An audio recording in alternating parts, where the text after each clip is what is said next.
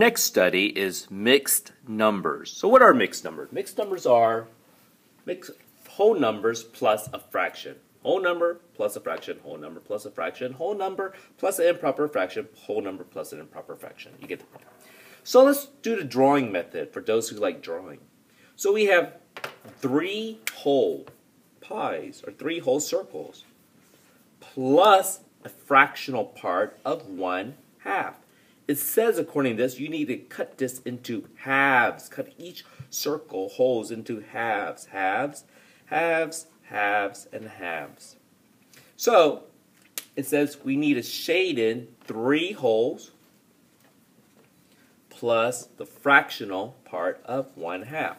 How many pieces did you shade in? One, two, three, four, five, six, seven. We shaded in seven pieces and are cut into halves.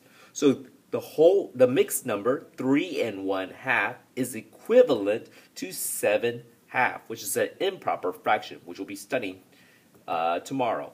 So 3 and 1 half is equivalent to 7 halves. You know what? There must be a faster way where you don't have to draw this. Anybody know? No? Alright, fine. We'll keep, continue to plug in drawing. So next one shows we have two whole numbers our two whole circle plus the fractional part of 2 thirds. It says cut each one into thirds. Ah, my feature car. Mercedes-Benz.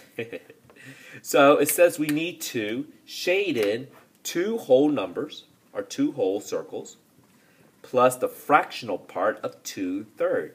How many pieces did you shade? One, two, three, four, five, six, seven, eight. Eight thirds. So 2 and 2 thirds is equivalent or the same as 8 thirds. How do we get that? I don't really know.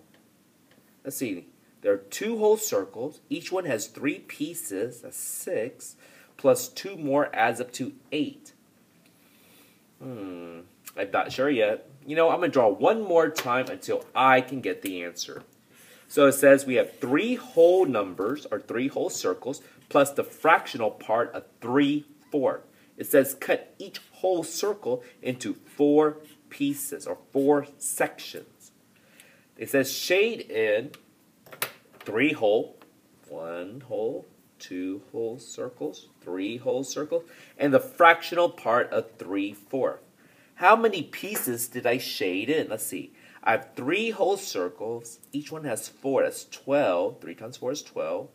Plus 3 more adds up to 15, and they're cut into fourths. So 3 and 3 4 mixed number is equivalent to 15 fourths, which is an improper fraction. Again, an improper fraction is where the numerator is greater than the denominator, or equal to the denominator.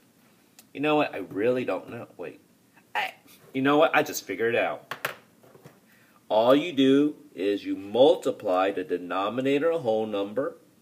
That's three. That's 12. 4 times 3 is 12. Then you add the numerator 15 and you keep the denominator same. Hey, doesn't that look like a popcorn to you? So this is almost called the popcorn method.